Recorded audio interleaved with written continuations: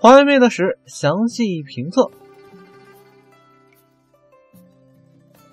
十月二十日，华为在国内正式发布了华为 Mate 十和华为 Mate 十 Pro。作为华为年度旗舰新品，Mate 十为用户带来了包括麒麟九七零、全新的徕卡双摄在内的诸多升级。我们这一次第一时间拿到了华为 Mate 十，通过一段时间的体验，下面给大家分享一下有关于它的使用感受。华为 Mate 十系列目标人群一直都是定位在商务人士。不过这一次，华为 Mate 十似乎想做出一些改变。这一次，华为 Mate 十将全新的设计语言通过圆弧倒角加四曲面机身，让华为 Mate 十在视觉上更加圆润。和前代产品一样，华为 Mate 十依旧保持了5.9英寸的屏幕设计。不过，华为通过缩窄它的额头和下巴，使其屏占比达到了一个新的高度，看起来更加震撼。而且，华为 Mate 十还采用了16比9 2K 屏，屏幕像素排列方式为 RGBW，亮度可达750尼特。机身背面，华为 Mate 十首次在 Mate 系列上使用了双曲面玻璃设计，机身背面采用了双轴 3D 热曲面玻璃后盖，启用了五层玻璃工艺，为用户带来一种与众不同的金属视觉体验。细节方面，华为 Mate 十采用了一颗八百万像素前置徕卡摄像头，拥有 f2.0 光圈，并且支持前置人像模式。而且，华为将在屏占比做高的同时，黑边控制的也非常到位。如果你不细心看的话，可能不会发现有黑边的存在。华为 Mate 十在坐展下部的同时，也保留了前置指纹功能。华为 Mate 十指纹采用了不可按压设计。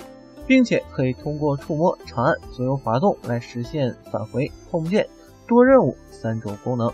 这次华为 Mate 十的后置摄像头部分采用了一种比较独特的设计。华为在玻璃材质的后壳之下，为其摄像头区域使用了特殊纹理和电镀工艺打磨的横条纹，使得手机设计看起来更具个性。接口方面，华为 Mate 十采用了目前主流的 Type C 接口，并且保留了3.5毫米耳机接口，并且还在机身顶端安装了红外模块，可以用来取代传统的遥控器了。整体来讲，华为 Mate 十在设计上改变是很大的。个人认为，华为 Mate 十全新设计不仅让这款手机看起来更为特别，而且手感上也获得了巨大的提升。可以看出啊，华为似乎想用全新的设计来吸引除了商务人士之外的用户群。这对于华为 Mate 系列来说，可以说是一个不小的突破。作为麒麟970的首发产品，华为 Mate 十的性能同样让人期待。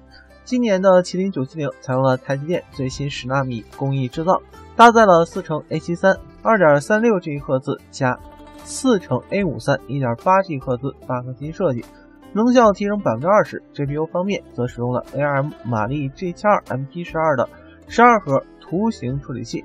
性能提升百分之二十，能效提升百分之五十。不仅如此，这颗处理器还具备双 ISP，并且率先加入了 LTCAT 十八支持，更是全球首款继承了 NPU 的处理器。